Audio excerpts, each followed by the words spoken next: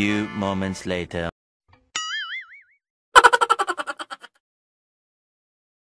A little longer than a few minutes later.